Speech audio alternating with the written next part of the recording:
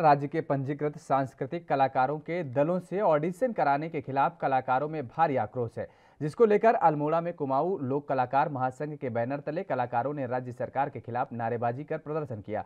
पारंपरिक परिधानों और लोक वाद्य यंत्र ढोल दमाओं के साथ पहुँचे कलाकारों ने अल्मोड़ा के चौघान पाटा चौक में राज्य सरकार के खिलाफ जमकर प्रदर्शन किया और इस दौरान कलाकारों ने मुख्यमंत्री पुष्कर धामी का पुतला भी फूंका। कलाकारों का कहना रहा कि पूर्व में पंजीकृत कलाकारों का ऑडिशन नहीं होना चाहिए। कलाकार कोरोना के कारण पिछले दो साल से बेरोजगार बैठे हैं।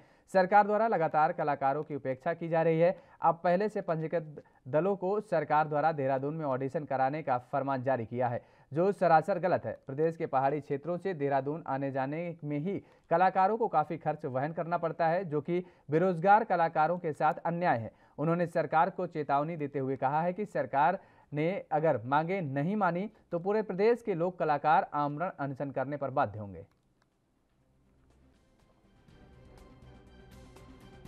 सामान निकाल कर ऑडिशन जो कराया जा रहा है सांस्कृतिक लोक दलों का, जो पूर्व से पंजीकृत दल हैं, उन दलों पर हम लोग 18 माह से बेरोजगार हैं। और ये ऑडिशन के समय में करीब सत्तर से अस्सी हज़ार रुपये हमारा खर्चा आएगा। तो हम अभी अभी वर्तमान समय में जब बेरोजगार है तो हम कहाँ से ऑडिशन के लिए पैसा लेके आए और दूसरी बात हम पर्वतीय क्षेत्र के रहने वाले हैं। ऑडिशन का फरमान निकाल कर भाई कलाकारों को बरसात का मौसम है, कलाकारों को जान माल का खतरा है क्या? सरकार, उत्तराखंड सरकार, संस्कृति सूचना विभाग हमारा हमारा हमको मुआवजा देगी? अगर हमें कुछ हो जाती ट्रेजल्टी हो जाती है।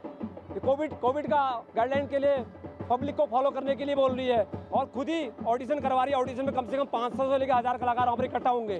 तो सरकार को कुछ सोचना चाहिए। अगर हमारी मांगों को नहीं माना गया, हमारी पहली मांग है कि भाई जो ऑडिशन है, पूर्व से जो पंजीकृत दल है, उनका ऑडिशन न लिया जाए।